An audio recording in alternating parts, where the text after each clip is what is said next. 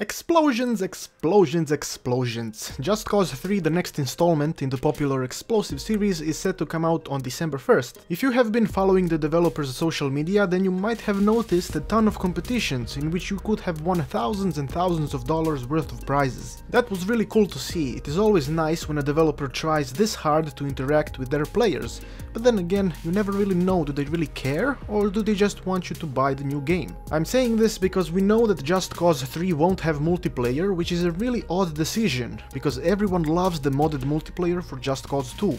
It seems like a really shitty thing to rely on modders to add a very important part of the experience to the game, but I do hope that modders do a good job, because the multiplayer aspect of the game is going to prolong its lifespan greatly. So what changes are coming with Just Cause 3? The biggest change is that the destruction, probably the most noticeable feature of the game, has been drastically improved. They refer to the new destruction as a pressure-based explosion algorithm. Explosions should be more realistic now with a visible shockwave that will push the debris from the blast area. What I'm looking forward to the most is the destructible bridge. Ever since Medieval Engineers I have had a thing for destroying bridges and I can't wait to get my hands on a rocket launcher and fuck shit up. But since the game won't have an official multiplayer and the core gameplay seems to be very similar to the previous game, we gotta focus on the story a bit, since that is the only thing that, aside from the improved destruction, is noticeably different. The developers really focused on the protagonist and the antagonist, and besides the motion capture was done in full performance capture as they call it, meaning all of the scenes were captured using real humans with sensors. They captured the facial animations too, which is a really great way way to help the players immerse themselves into the story and the overall game as well.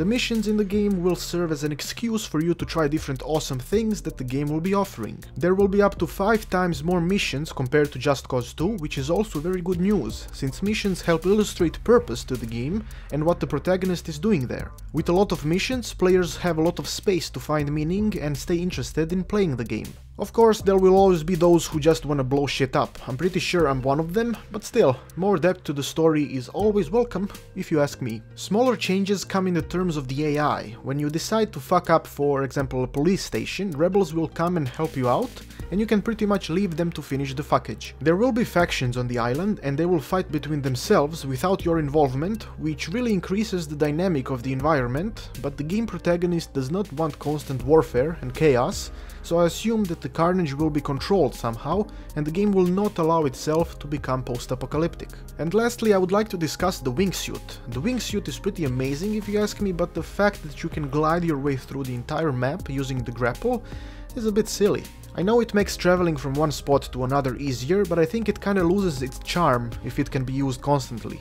I feel like the wingsuit is going to replace all other forms of travel very quickly and become the main and only way people will move around in the game. That sounds really poopy, so I'm hoping that it will get old fast so people can enjoy other aspects of traveling as well. I'm very much looking forward to Just Cause 3 and I'm fairly certain it will offer a satisfactory single player experience. I'm hoping modders will add a good multiplayer to the game so it can be enjoyed further, but it really saddens me that the developers didn't add multiplayer themselves. Perhaps there is hope that such a thing will happen for Just Cause 4. Let me know in the comments what do you expect from Just Cause 3 and are you at all interested in the story or do you just want to blow shit up? Also, if you still haven't bought the game, I'll be sharing the website I'm using for my purchases, so feel free to check it out. Easy and cheap, just how my Eastern European genes like it. I have been Petard, your glorious lord, and I shall see you next time.